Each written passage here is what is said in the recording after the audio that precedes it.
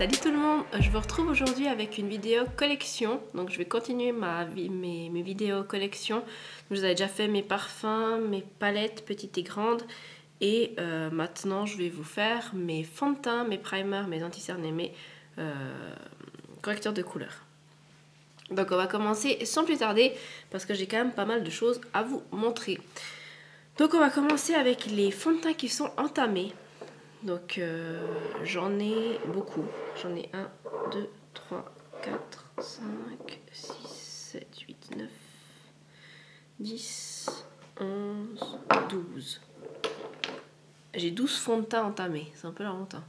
Et j'en ai qui sont 9. J'en ai 1, 2, 3, 4, 5, 6, 9 en backup. Donc en tout, euh, j'ai 18 fonds de teint sans plus tarder, je vais vous montrer tout ça. Alors, pour commencer, j'ai le Nars Radiant, euh, je sais plus quoi là. Nars euh, Natural Radiant Longwear Foundation en teinte Mont Blanc. Donc, euh, je le secoue un petit peu, ça fait un moment. Bon, du coup, vous verrez plus, mais j'en étais là. Hein. Je, pense que vous avez vu avant. Non, je ne l'ai pas beaucoup, beaucoup utilisé pour l'instant. je pense que je vais pas mal l'utiliser prochainement parce qu'il est assez clair et du coup, ça ira bien parce que j'ai atteint ma teinte la plus claire. Je pense que je peux avoir tout au long de l'année. Donc euh, voilà, c'est un fond de teint que j'aime vraiment beaucoup. Ensuite, j'ai un fond de teint Catrice. Et là, pour le coup, moi, je l'ai secoué avant parce que je l'ai utilisé aujourd'hui. Mais j'en suis ici. Euh, il m'en reste plus euh, énormément. Bon, il m'en reste encore pour un mois en tout cas d'utilisation. Mais je pense que c'est le prochain que j'aurai fini. C'est le Liquid Coverage HD qui tient jusqu'à 24 heures. Et je trouve vraiment génial. Il fait un très bel effet sur la peau. Il ne fait pas un effet plâtre ni masque, il est très léger sur la peau et il couvre quand même assez bien. Euh, je trouve vraiment super. Toujours de chez Catrice, j'ai un autre fond de teint, c'est le 24 heures Made to Stay Makeup que j'ai mixé aujourd'hui avec l'autre que je viens de vous montrer pour avoir ma teinte euh, parfaite. L'autre est un peu trop foncé et celui-là est, est, bien. Et c'est le, il est aussi jusqu'à 24 heures il est matifiant avec des antioxydants et il a une bonne couvrance. Je trouve très très bien également. Même si je préfère le fini de l'autre, celui-là, euh, il est vraiment très bien aussi. Ensuite, j'ai le fond de teint Smashbox. C'est le Studio Skin 15h, fond de teint hydratant. Et là, euh, je ne sais pas si vous verrez, j'en suis ici. Donc je ne l'ai pas... J'en ai utilisé euh, un cinquième, je pense. Euh, je l'aime vraiment beaucoup. C'est la teinte 0.5 que j'ai. Il hydrate bien la peau, il a un joli effet, vraiment seconde peau. Il se remarque pas trop trop sur la peau et il migre pas, donc je l'aime vraiment beaucoup. Et il a pas d'SPF celui-là, je crois. J'ai oublié de vous dire les SPF. Non, il n'y a pas d'SPF celui-là. Celui-là non plus. Les deux Catrice n'ont pas d'SPF et celui-là, il n'en a pas non plus, le Nars. Ensuite, j'ai le Power Fabric de Giorgio Armani qui celui-ci a un SPF 25, ce qui est quand même pas mal. C'est un fond de teint haute couvrance, donc c'est vrai qu'il a un fort pouvoir couvrant. Il a une... Euh, non, je crois qu'il n'a pas d'odeur, tiens. Non, il n'a pas d'odeur. Euh, tous ceux que je vous ai montrés là n'ont pas d'odeur en fait. Je vous dirais qu'il y a une odeur. Celui-là n'a pas spécialement... S'il a une odeur ou pas? Si, il a une odeur celui-là. Si, si, il sent comme les rouges à lèvres euh, Giorgio Armani, ils sont un peu les fleurs. J'aime beaucoup cette odeur de Giorgio Armani, ça sent très bon. Euh, c'est un fond de teint que j'aime vraiment beaucoup. Il a un beau rendu sur la peau, assez naturel quand même, même s'il est assez couvrant. Et euh, il tient bien, donc vraiment un très bon fond de teint. Ensuite, j'ai un fond de teint Chanel, c'est les beiges, ça fait mille ans que je l'ai, je pense. J'en suis plus ou moins, pas tout à fait à la moitié, mais juste avant la moitié, j'en suis ici. Et je l'ai en teinte 22 rosé, donc il a SPF 25, PA++, c'est le teint Belmine naturel. Alors là, pour le coup, c'est vraiment pas un fond de teint très très couvrant. Il, a, il est quand même, disons, couvrance moyenne, on va dire. Euh, il tient bien, même si c'est pas celui qui tient le mieux sur moi, mais il a plus joli effet si vous l'appliquez soit au pinceau, soit directement au doigt. Je trouve pas qu'au Beauty Blender, il a euh, un super rendu. Enfin, c'est pas là qu'il a ce rendu au maximum, on va dire. Mais un fond que j'aime vraiment beaucoup et que souvent j'emporte en vacances parce que justement, il est bien appliqué euh, du bout des doigts en fait. Ensuite, j'ai un fond de teint euh, L'Oréal, c'est le Infaillible 24 heures. Et celui-ci, j'en suis, on voit pas parce que j'ai du squib, je l'ai utilisé hier entière, j'en suis là. plus ou moins par là. Je suis plus ou moins un peu plus que la moitié. Enfin, plus ou moins la moitié, on va dire. Et je l'ai en teinte, en teinte quoi? 12 Natural Rose. C'est un fond de teint que j'aime beaucoup. Il a un joli effet sur la peau, il tient bien. Il a un joli effet mat. Par contre, je crois qu'il est plein de saloperies. Donc ça, c'est sûr que je le rachèterai pas une fois que j'aurai terminé. En parlant de saloperie, un fond de teint qui a même des perturbateurs endocriniens, il me semble, dedans, c'est le Fit Me de Maybelline en mat, donc mat poreless, j'en teinte 105 et c'est dommage parce que c'est un teint que j'aime vraiment beaucoup, j'en suis ici donc euh, je pense que je l'aurai terminé dans pas trop trop longtemps non plus. Teint qui a vraiment un joli effet sur la peau, il a vraiment un, aspect euh, flouteur des pores. Et, euh, et voilà, donc mais ça je rachèterai pas une fois que je l'aurai terminé. Ensuite, j'ai le LC Mix de Bourgeois en teinte, en teinte quoi? Vanille, je crois. Ouais, 52 vanille. Euh, c'est un fond de teint que j'avais déjà eu dans son ancienne formulation et je me rappelais qu'il sentait bon. Mais alors là, euh, en fait, il sent rien. Ça m'a un petit peu semblé bizarre. Je pense que je confonds avec le LC Mix Serum qui sentait, qui sentait très bon. Celui-là, et il n'a pas d'odeur en fait, il sent le fond de teint. J'aime pas trop son odeur. Mais euh, voilà, en tout cas, je l'ai utilisé qu'une seule fois pour l'instant. Donc euh, voilà. Mais euh, il a un joli effet sur la peau, mais c'est pas mon fond de teint préféré. Ensuite, j'ai le Fenty Beauty, c'est le Pro Filter. Celui-là, je l'ai en teinte 170 et c'est un de mes fonds de teint préférés. Il fait vraiment un effet très mat et il tient vraiment très très bien. Par contre, je trouve qu'on le sent un petit peu sur la peau. Et j'en suis ici. Il descend très très vite quand vous commencez à l'utiliser. Donc je l'économise un petit peu en guillemets parce que comme je suis dans un no buy euh, je vais pas pouvoir le racheter tout de suite.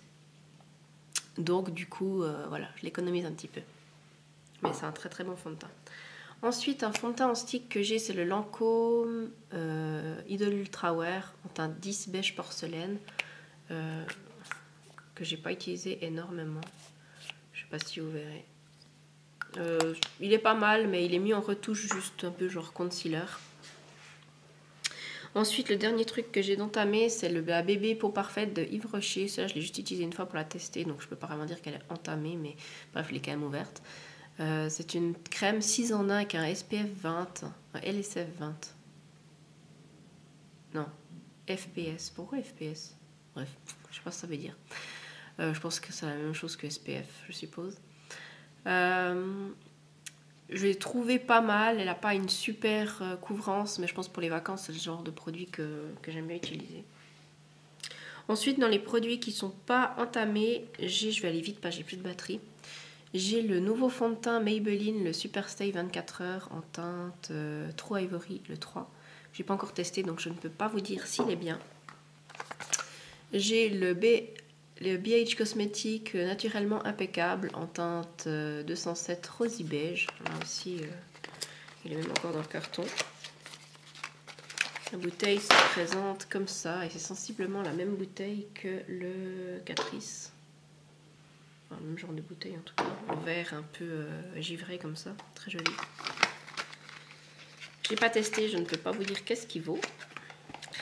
Euh, j'ai encore un fond, un de teint Wet n Wild, c'est le Photo Focus que j'ai pas encore testé. Je l'ai en teinte euh, ivoire nu. J'ai un backup de la bébé crème clinique anti-blémiche solution SPF 40 anti-imperfection en teinte light. C'est un, une bébé crème que j'adore. Donc ça je la connais et je l'avais racheté.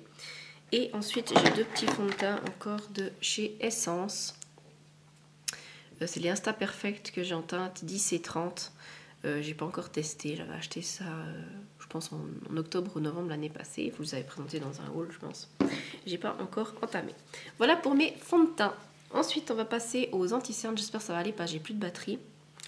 dans mes anti-cernes qui sont entamés, j'ai le, j'ai le, j'ai le, j'ai le Smashbox Studio Skin 24 heures en teinte fer. Alors vraiment pour le coup il est vraiment très fer. Hein. Je ne sais pas si vous verrez par rapport à moi, il est presque blanc.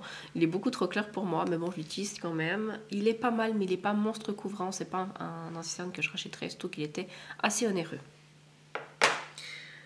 Dans les concealers entamés, j'ai le MAC Pro Longwear Concealer en teinte NC20. NC20. Euh, j'en suis là, donc euh, je pense que je l'aurai terminé dans quelques mois, dans un mois ou dans deux mois, je pense, trois mois. Euh, ça fait un anti-cerne que j'aime vraiment beaucoup. Il a un, joli rendu, il tient bien. Ensuite, dans ce qui est entamé, j'ai mon Color Pop en teinte, euh, je sais plus quoi, mais c'était une des teintes les plus claires. Euh, pareil que j'ai bientôt terminé, il m'en reste juste un petit fond. J'aime vraiment beaucoup, mais c'est pas non plus mon préféré. Et dans les entamés, j'ai encore un essence, c'est le Stay All Day 16 heures que j'avais déjà racheté, que je trouve vraiment très très bien. Il a une assez bonne couvrance. Et si vous voulez vraiment un truc qui couvre, euh, qui vous couvrira toute votre vie, c'est le teint Idol Ultra Vert Camouflage de chez Lanco. Mais ça est vraiment bien. J'utilise aussi de temps en temps pour camoufler des boutons. Moi, je n'ai pas spécialement de boutons aujourd'hui, donc je ne l'ai pas utilisé. Mais euh, ça m'est déjà réussi d'utiliser pour ça et il fonctionne très très bien. Ensuite, dans les backups d'anti-cerne, j'en ai. Euh, donc là, j'en ai 1, 2, 3, 4, 5 entamés. Et j'en ai 1, 2, 3, 4 en backup. Donc j'ai le liquide camouflage de chez Catrice, c'est un, un rachat, je l'avais déjà utilisé, je l'aimais vraiment beaucoup. Bonne couvrance. J'ai le Age Rewind de Maybelline, pareil, je l'adore, donc euh, j'avais racheté un backup, mais euh, je ne l'ai pas encore entamé. J'ai un, c'est aussi un backup de d'un anti-cerne Huxley que mon amie Laetitia m'a offert. Elle m'avait déjà donné un euh, l'année passée que j'avais adoré, Secret of Sahara. Euh, donc je l'ai pas encore utilisé, mais c'est un, anti-cerne que j'adore et qui couvre bien. Et j'ai l'anti-cerne euh, Super Coverage Multi-Use Sculpting Concealer de Born This Way de Too Faced que je me suis acheté l'année passée au Black Friday de Manor, je crois, il me semble, en teinte porcelaine. Et j'ai pas encore entamé. Voilà pour les anti-cernes. Ensuite, pour les bases de maquillage, j'en ai trois entamées. J'ai la Estée... Non, c'est pas vrai, j'en ai quatre entamées. J'ai la Estée Lauder euh, Mattifier qui est bientôt terminée, que j'aime bien. J'ai la Smashbox Photo Finish Light qui est pas mal aussi, elle est quasiment neuve. Celle-là, je l'ai peut-être utilisée 4-5 fois, mais je l'ai beaucoup aimée.